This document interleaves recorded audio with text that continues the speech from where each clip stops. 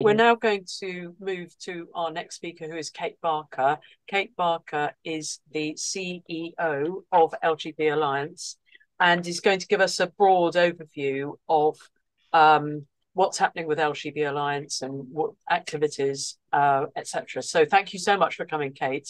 Oh no, thank you. Thanks for inviting me. I'm really pleased to be here. Hello, everybody. Yeah. Um, yes. So um, in in putting this together, I I putting together some notes. I was having to think about the title for this, and I came up with um, sticks and stones, and I was reflecting on the notion that we've been lucky enough at LGB Alliance never to have been attacked. We've been threatened by protesters before, um, and and lucky enough not to have been punched in the face by misogynists, as I know other women have when they've been peacefully um, protecting the erasure of their of their rights. However, we have been called a lot of names, and we continue to be called names. So I had a look on um, Twitter this morning, and just just for a little selection um, for your interest of the kind of things that we're that we're called, and I found um, just in a short search, uh, we're a hate group, we're Nazis, racists, anti-abortionists, the religious right, uh, guff monkeys, which was an, which was an odd one, uh, tiny little ball of hate and spite. I, also, we're always the so-called LGB alliance, which I find very difficult to understand because even if they really hate us, that is our literal name, but we get that all the time anyway. The so-called LGB alliance, and then there's fascists, scum, murderers, um, TERFs. I'm, I'm fine with that one. Um, but the worst and the most outrageous thing they say about us consistently um, is that they say we're straight, which of course um, we're not. Now, the name calling, I know that's probably common for all of us when we're, you know, open about our open about our position, and it doesn't hurt us personally anymore within the organisation, although it is it is really wearing, and when it becomes personal, it, it's it become can be difficult to handle. Um, but what it does do is it hurts our reputation as an organisation. So we're a registered charity, um, and we've had grants withdrawn that we've already been awarded following an out a big outcry on social media. We've we find it very difficult to book venues, and sometimes when we do book venues, they'll get wind of the fact that we're going to be there, um, and then that venue will be closed to us within just a few hours. Politicians that we would like to be talking to are the ones who are least likely to want to talk to us because of our reputation. But I, also, really, very many people who are sympathetic to us and um, are afraid to say so publicly. And I think that really says something um, frightening about the state of our of our broader society. That even to express an opinion that you think LGB Alliance might have a point on some things um, is absolutely forbidden, and people feel they'll be cancelled or attacked for doing so. So it's a really scary state of affairs, and and most significantly, that name calling essentially is what led to our court case mermaids took us to court basically because they said we were a hate group and that we shouldn't therefore have charitable status. Um, that court case took two years. It cost us a quarter of a million pounds. It sucked up enormous amount of time and effort. You know, and that money could have been spent on some of the work that we actually want to do. And it was a huge personal strain, particularly uh, for the for the people who were actually had to be witnesses and, and our founders. It was just you know, it was absolutely terrible. Now we won, so that's that's fantastic. Um, but I would say that all of this name calling, and I think that's something that we're all subject to, not not just LGB Alliance.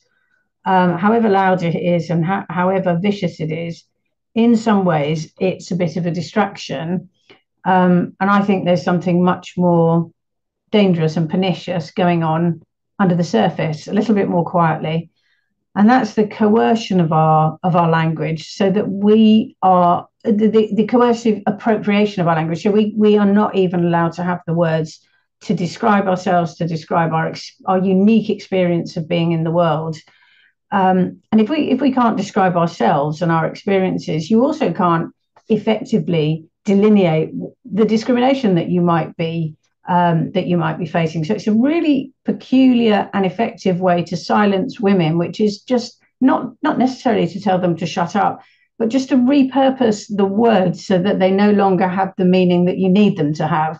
and that's just that's just going on everywhere. Um, so I'm going to talk to you about how that relates to uh, the latest campaign that we've worked on, but I'll sort of take a step backwards first for people that don't don't know anything about us.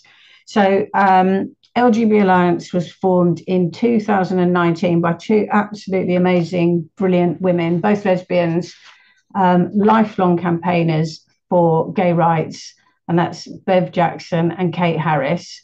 Um, our, our, I'm the CEO, and I'm clearly a woman. Our chair is a woman. Most of our staff, most of our volunteers are women, and we're really keenly aware that there's the dual discrimination that we face as lesbians and as women, which is why a lot of the work that we do is very much focused on lesbians rather than gay men. It's not just the fact that there's more women who work for us than there are men, but I think it's women who are disproportionately um, feeling the uh, feeling crushed by what's happening at the moment.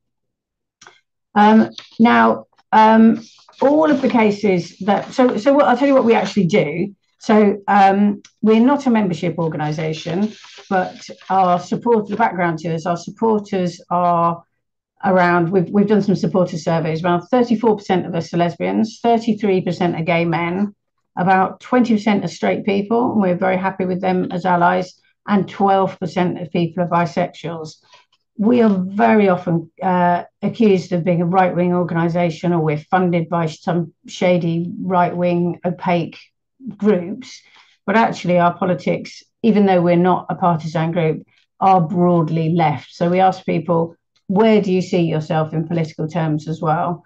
Um, and the survey showed that uh, 57% of our supporters describe themselves as being their politics as being left or centre left, um, 16% as centrists, and 21% as right or centre right. It's actually quite telling that when you broke that down, the, the people who said they were right or centre right were nearly all of our male supporters.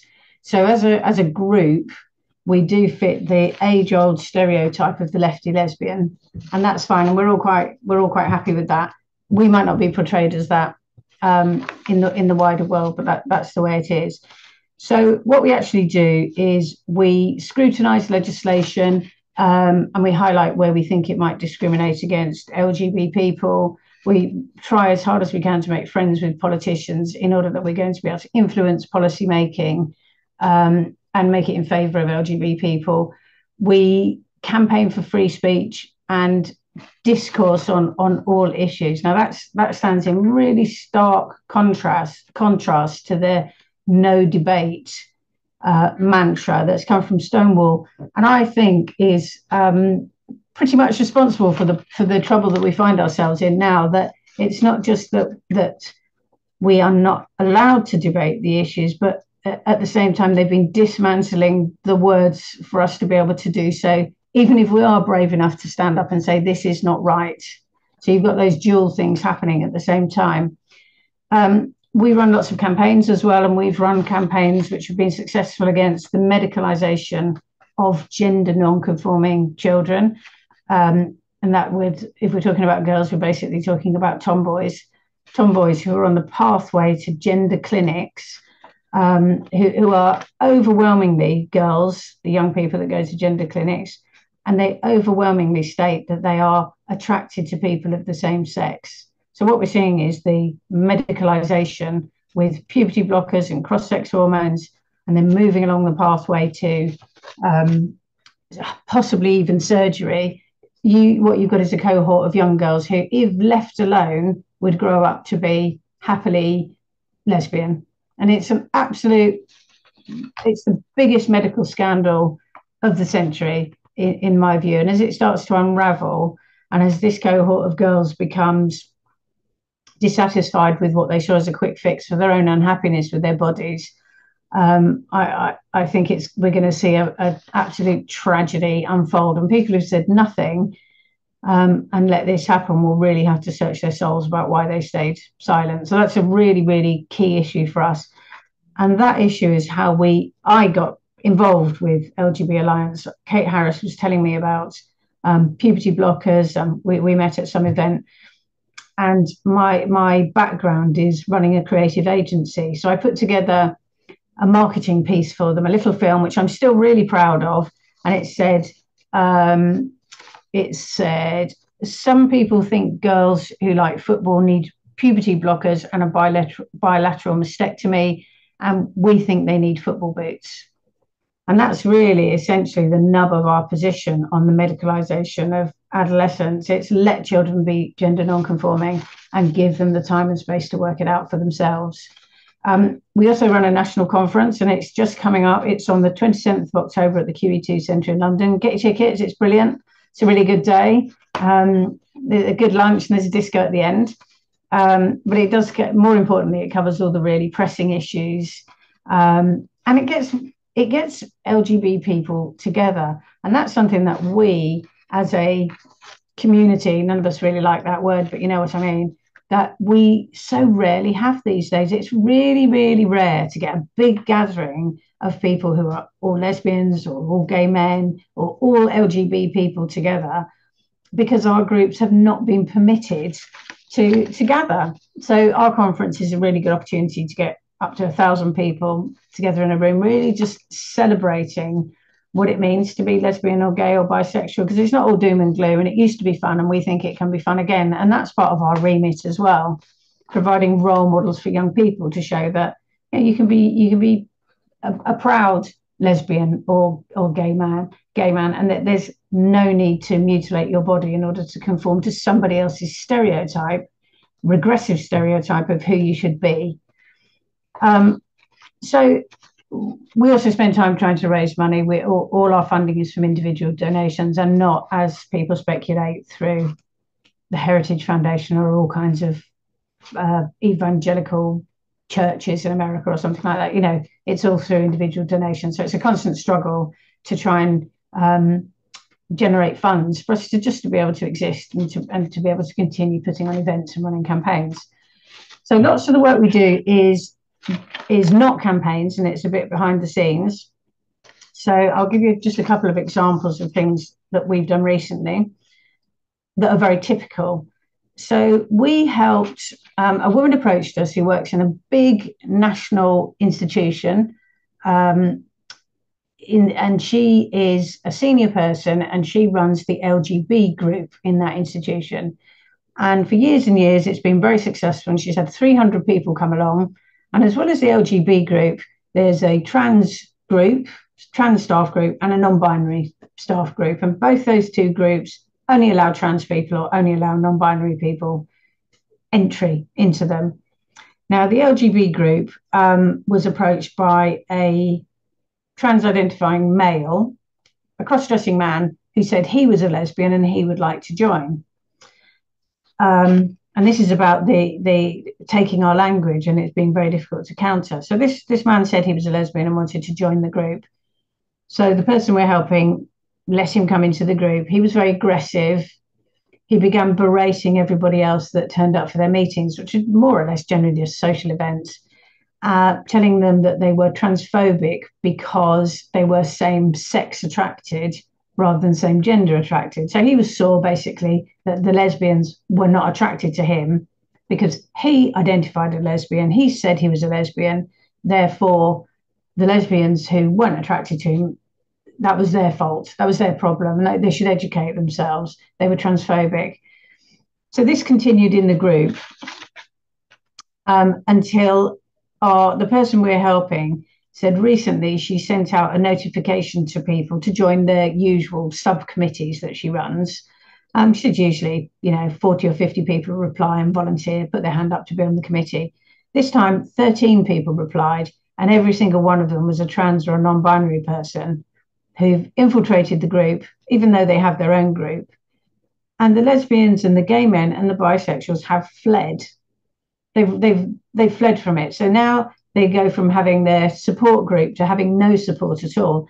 And of course, that's not the end of it because our person was called into HR and senior management and quizzed about her transphobia because she believes that homosexuality is same sex attraction and that lesbians are not attracted to a man simply because he decides that he feels like a woman. And this is at the heart of, of a lot of issues that we deal with. Other other um, people that we help, we get a lot of letters, a lot of emails from parents who are desperately worried about what's what's happening in schools. We're helping a woman who whose daughter told her that she was a lesbian. Uh, she's about 15 years old, and the girl seemed quite like okay with that. She she talked it through with her mum. She felt that was quite cool. She went into school, didn't get a very positive reaction, became very quiet about it um, and what had happened was that the school had referred the girl without either of her parents' knowledge to a trans charity and set her up with in person meetings with a counsellor. So the school had decided that the girl maybe was trans. Um, and that charity had given her a breast binder. And then that charity had later made her an appointment with a private GP. Uh, they'd paid the fee and the girl was taking hormones. Now, this was when she hit 16, so the girl was was taking cross-sex hormones. And then one evening, the family, there was a knock at the door, and it was a social worker from Brighton and Hove Council. Anyone who's in the UK won't be surprised to hear that it's Brighton and Hove. And it was Brighton and Hove Council. And the social worker came in and announced that, right, you've got a son now and not a daughter. If there's if you don't accommodate this, if you don't change your attitudes, if you're a real telling off, your child will be taken away. And that evening, um, the woman's husband, the father, um, attempted suicide um, about it, and now the the the child has has been removed. The family the family is entirely broken down. Um, and we hear that we get a lot of letters, not many as extreme as that, but a lot of letters from parents whose lesbian daughters have been told by outsiders that being a lesbian isn't appropriate, and if they if they've got short hair or if they're sporty or if they're attracted to girls, these are all signs that they are really born in the wrong body and that they should be that they should be boys. So that, that's a main that's that's a significant part of what we do which is is helping individuals who who approach us. And all the cases are very different but they do all seem to have this common denominator. And that is again returning to this idea that women we are unable to protect our our rights or to define the discrimination that we face because our language has been kind of malappropriated and then mangled and flipped and then thrown thrown back at us. So um, our most recent project, so the last one I'll tell you about is, and people again in the UK may have seen this in the news, and we're really, really pleased with the way with the way this went. But it's a very typical problem, and I think we're going to see more of it. So we were approached by um, a very lovely uh, woman called Jenny Watson, and she's a town planner at Camden Council, the wokiest of the woke. Um, and she's been running lesbian social events, including lesbian speed dating events for about five years in the centre of London in, in, in a couple of different venues. So she was happily having one of her speed dating events in a pub off Tottenham Court Road. And a guy turned up and he was wearing head to toe purple latex, obviously all skin tight, all the better to display his erection. Um, now, I've never been to lesbian speed dating, but and I think mo- most of us can agree that the last thing that's going to improve it is that, you know, or any man, whether or not he's in latex and got an erection. Um, and Jenny said, you know, she feels ashamed of herself, but she didn't say anything because she was too afraid of him. He said he, he announced that he was a lesbian. She was she she didn't know how to respond. She was she was afraid of his reaction if she said he wasn't. And then a few months later, another guy came, and he was brushing up against women in the in the queue at the toilets and making people feel uncomfortable. They complained to her, and and this time she said, "I I could not stay silent." Really big guy. She said I was shaking, my voice was shaking, but I had to say to him, "You, this is a this is a, an event for lesbians. Lesbians are women. You're not welcome. You need to go." So on her website, it clearly said this is a lesbian speed dating event, but clearly that's not enough because the word lesbian now can include a male. So she went back onto her website and she changed the wording. So it said, um, This is a women only event for lesbians. Do not come if you're a man. You are not a lesbian. Now, this enraged the trans identifying men who began to wage a huge campaign and a vendetta against her. Um, and it was led by a, a person called Emily, who's six foot two and looks like a scaffolder, um, who wrote to say that he was a lesbian with the, and he would very much like to come along to speed dating. Um, and uh, and and Jenny said said no. So he began to organise with other activists, and they wrote to Camden Council where she works and said, "This person is a hateful transphobe and she must be sacked." And it triggered an investigation into her, which was hugely stressful. They contacted the platform where she sells her tickets um, and attempted to shut that down. They sent her some very unsettling emails, things like "This is not going to go away." Um, and it, one day she opened her post and there was a gang rape threat in her post in her own home on her doormat. It's terrifying. And then, of course, they pressured the pub where she was having the event and persuaded them to close it. And that and that's where we, the point at which we began to help. So I went with her and I went to see the manager of the pub and I went to see the area manager to try and understand their decision and to help the pub manager was extremely smug and very pleased with himself. And he said to us, No, no, this event must be cancelled because it is not inclusive. And, and when pressed on, well, what do you mean inclusive? In, inclusive of whom? Well, it must include it must include men, or it does not align with the values of the pub. He told us that complaints have been received by men who were lesbians and this is where you go down a sort of a rabbit hole of what does this all mean? Men who were lesbians who said it was unfair they were not welcome to attend. Now, it's clear that in the wider world, most people would think it absolutely absurd that the desire of a trans identifying man to go to a lesbian event was considered more important than all of the women who were attending who wanted it to be women only. But the issue, once more, is with language, and it's uh, the issue is with Stonewall, who've been deliberately feeding um, information to businesses about what is and what isn't lawful in an effort to subvert the law to give trans people rights over women which they never previously have and which the law does not offer them. So it's the equality and diversity, excuse me, industry, um, which has, has really got its tentacles into every large organization, every institution in the country. And the source material for all these presentations comes from Stonewall and it comes from TQ plus lobby groups, groups that are really misogynistic to the core, which deliberately misrepresent the Equality Act 2010, suggest that trans people's rights are always preeminent.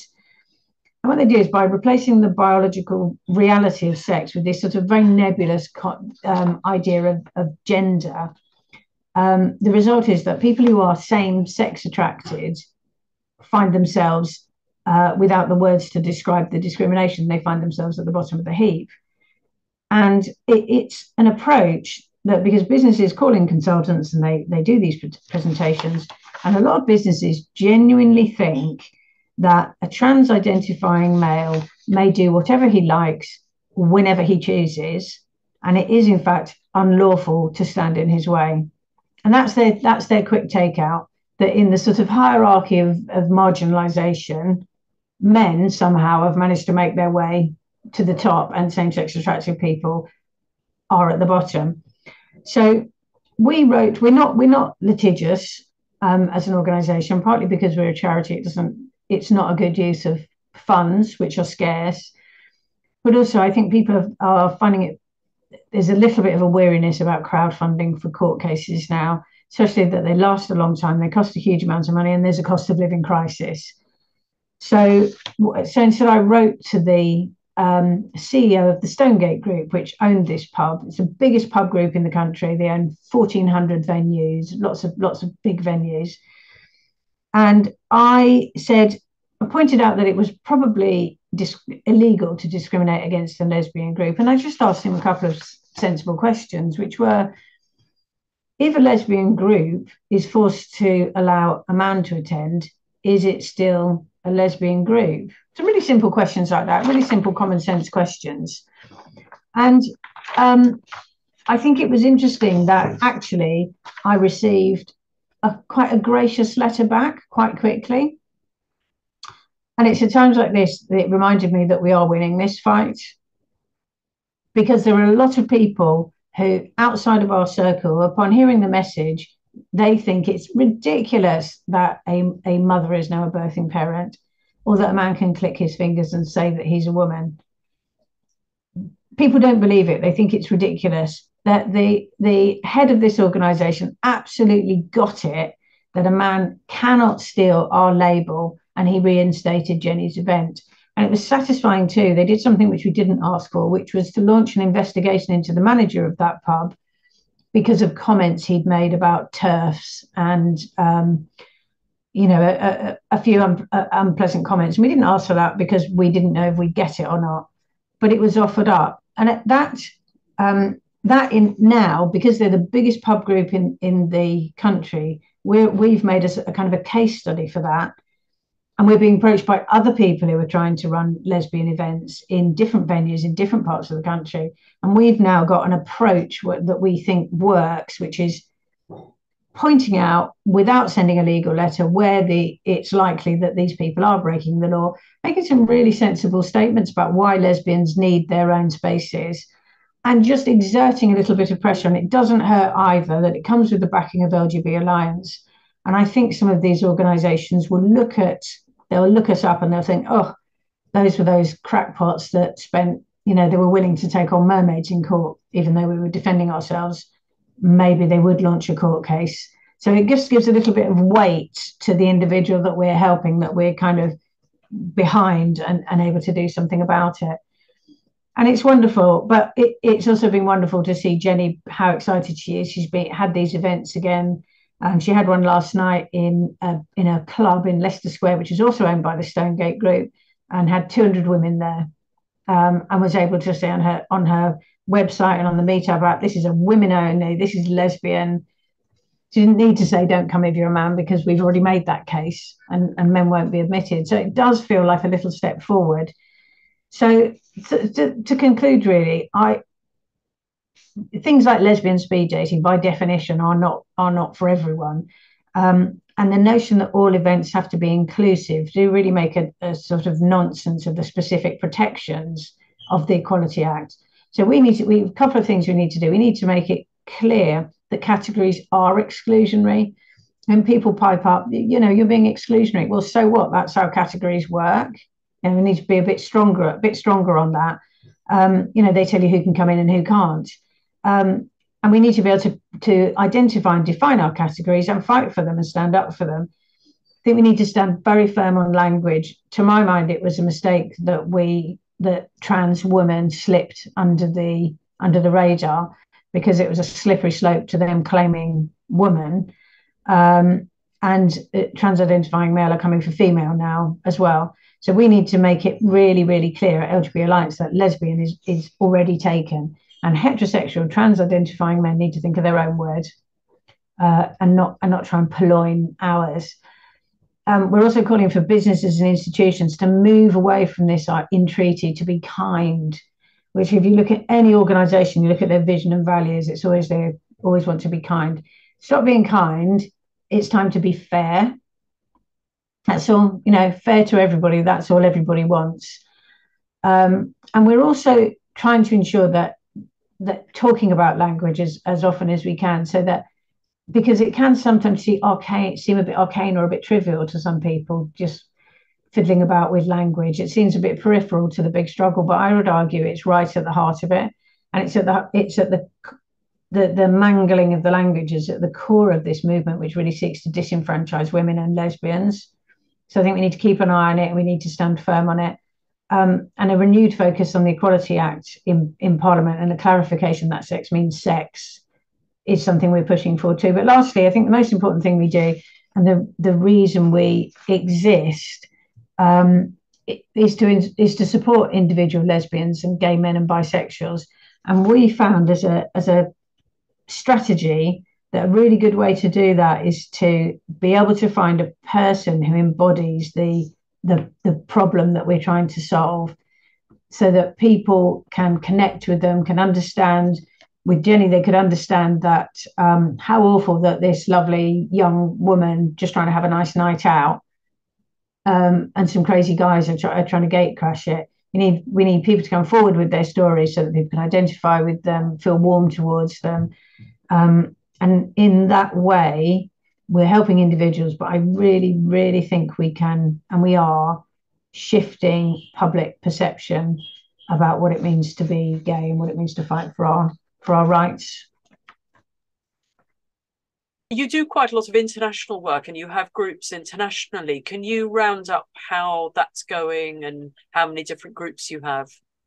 Yeah, so so when we first started, um, so many people were interested in countries around the world, particularly ones that were really um, suffering under gen, you know, gender ideology, that they got in touch with us, and we were so thrilled and delighted that anyone was even remotely interested in us that we were like, yeah, great, and we sent our logo out left, right, and centre. Um, so we've got what we have is actually lots of loosely affiliated groups of friends everywhere from sort of Iceland and Ireland and in the States and of course in Canada um, and we're at the moment looking at ways that we can slightly formalize those links so we can share information better and we can be kind of an international force without each of those groups losing their autonomy. Because clearly every every country has has different issues and we as a as a kind of a head office don't have the resources or the staff to to be able to manage that. So we're feeling our way at the moment how we can link up so we can talk a bit more on one voice as in one voice about some of the big issues.